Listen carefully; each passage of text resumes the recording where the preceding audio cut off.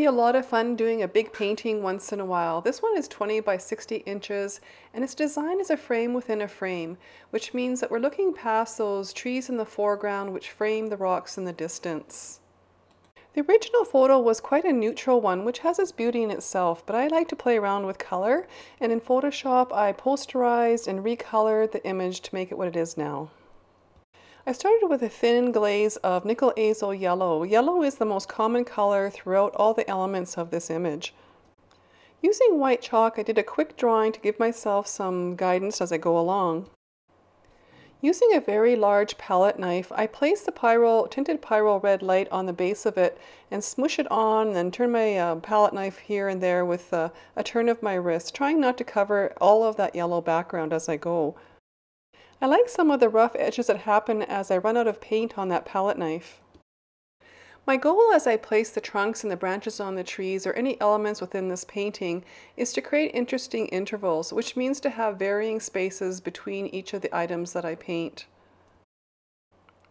Within these supplies that I used is a Princeton Catalyst silicone blade. It has um, a really interesting tip on it and what I like doing with that um, that I might not show during this uh, time lapse is scratching into the paint with it and it creates really interesting marks. I've moved to a smaller palette knife so it's easier for me to make these uh, trunks of the smaller trees and also some of the branches coming off of the larger trees as well. For the first stage of this painting, I only used two colors, Pyrrole Red Light and Chromium Green Oxide. I've pre-mixed several shades of both of these colors on my palette and I have a lot of white on the side ready to go for when I want to tint a little further. This tint of Pyrrole Red Light will become a light orange color later when I give it a little bit of a glaze of Indian Yellow. After placing bits of the tints of the red, I've gone into the chromium green oxide tints and placing it next to the reds, um, deciding where on the rocks and stones that I will need that, and also in the distant uh, trees that we see beyond the rocks. Because I'm using playful color, I'm really feeling my way through the painting. I'm using the lighter greens to push back and make those distant trees feel more distant, and a little bit darker for the greens in the foreground. To make it easier for me to look at my reference and then to my painting, I place that piece of white paper over the left-hand side. While I have a shade of a color on my palette, I do my best to find all the different spots that that color and shade belong. This is the blocking in stage. I know that I will go back and make adjustments later on in the painting. For this image that I'm doing, I'm using a method called broken color. So I'm letting little bits of the background color show through. And later on as I'm placing other opaque colors on top of the colors I've already placed, I'm trying not to cover all the color up and create that little bits of broken color to make the painting more interesting. And the goal too is to have a change of color every inch and also a change of shade. I check my reference often and as I'm placing the marks on the rocks I'm trying to go in the direction of the rocks and give a feeling of the, the face or the angle of those stones. As is when I was painting the trees, I am still looking to create interesting intervals so the spaces around the marks I'm making are kept interesting and varied, as well as the marks that I'm placing in the positive form. In this way of painting where glazes will then change the colors that we have so far, you have to have a little bit of patience and uh, be willing to wait until that very end piece where you place one layer of uh, a glaze over all the colors that are created so far. Because I'm using many varied marks and using this broken color technique, I've decided to do an analogous color scheme overall.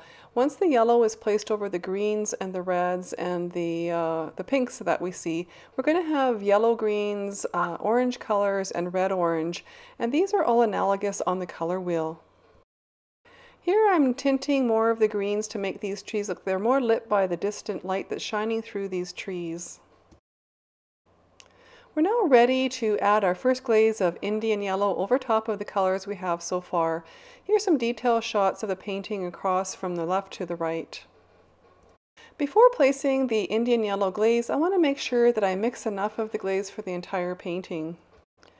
I combine my acrylic polymer medium with the paint on my glass palette.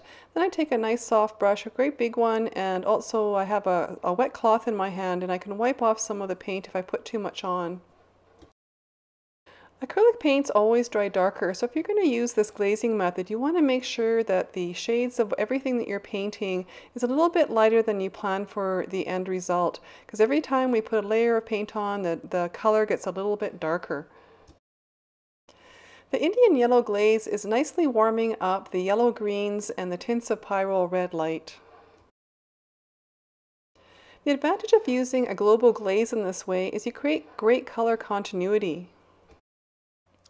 The reason we want to use a medium soft brush for this is it helps us to put the glazes on more smoothly.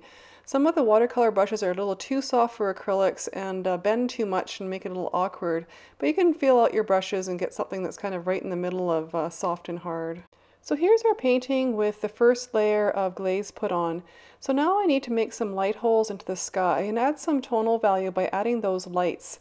We have a lot of mid-tones so far and a little bit of dark, and these lights will help us to key in for the rest of our painting. The big trees in the foreground need more texture and more color changes. I do quite a few layers on these trees just to get the right kind of look that I want. After placing these tints of uh, the red colors and a few of the other colors, including some dioxazine violet, I will then glaze again with Indian yellow. The trees in the foreground are still somewhat mid-tone in value. I will need to darken them up to make them come forward from the background. I will darken the trees by adding quinacridone red glazes and also dioxazine purple. Because of the creative color, at this stage I'm trying to make the colors balance and push more to one side or the other. I felt that I needed a bit more green in the cliffs to make it look right with the rest of the painting. At this stage of the painting, I'm moving around between the highlights in the sky, the midtone in the rocks and the trees, and adjusting the colors wherever I need to to get a balance for the painting. At this stage of the painting, it takes some perseverance to keep on going. It feels like you might be near the end of the painting, and yet there's still quite a bit to do in the small marks and the little nuances that are required. To find a pleasing placement for some branches, I'm marking thirds on the side of the trunk between the top of the cliff and the top of the sky. In this style of painting, I do the majority of the painting negative space where I put uh, positive forms down and then paint in between, but I do add things on top as well, like these branches that you see now.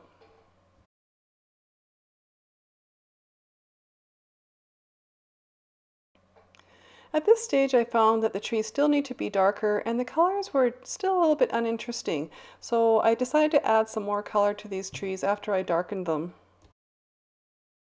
Dioxazine purple is a lovely color for darkening reds because it has the common color of red and then the blue color in there is what's making it look darker and a little duller. To create the change of color in the trees, I've tinted quinacridone magenta, and then once it was dry, I put layers of glazes of the phthalo blue uh, red shade. I realized at this stage that the tree that I'm working on now was too wide for the composition of the painting, so I'm taking titanium white and blocking out the sides of the trees to make it narrower. Once that white paint was dry, I glazed it with the original uh, nickel azo yellow. It took a little bit of time to uh, readjust the edges of that tree so it blended in with the uh, cliff face, but it was worth it in the long run. I'm pleased with the variation of color in the tree trunks created by the violet color. We're getting closer to finishing this painting. It's important to constantly assess the uh, tonal values of your painting and to persevere in making sure that you add as much as you need. The small bits of remaining snow on the cliff face is an important part of this painting. I think without it the painting would not have worked as well. The little bit of cool against expansive warmth creates a great impact. The snow also helps to emphasize the strong diagonal lines running through those cliffs. Well, I think we're about done this painting. We have interesting changes of color, some tonal value changes throughout the painting, and I think there's lots of depth moving from the back to the foreground, and we're able to look past those foreground trees into the distance. Here are some of the tools I used to make this painting. The supply list is next. Thanks so much for watching. Subscribe for notice of new videos. Take care.